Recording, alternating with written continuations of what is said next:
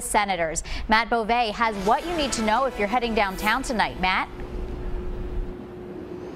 Rachel, well, this afternoon, those with the Sabres say the biggest thing that you can do is to head downtown early, and that's because what you'll be greeted with right when you walk into the arena, these new metal detectors, almost like you're in an airport. Now, when you walk through, you don't have to take off your shoes, you don't have to take off your belt, but you will have to walk through these new mandated by the NHL features. Now, if you are coming to the game, you're going to notice this tonight, but you won't notice this at a Bandits game or at a concert. That's because this is just something mandated by the NHL. Now, outside of the arena, the party in the plaza that kicks off at 5 o'clock. The one Buffalo presentation, Rachel, you talked about, that's at 5:30, and then this all leads up to the game that's coming at 7 o'clock tonight. Now, if you're heading to the game tonight, you'll probably get one of these. Take a look at it. Jeff, you can zoom in. It says next chapter.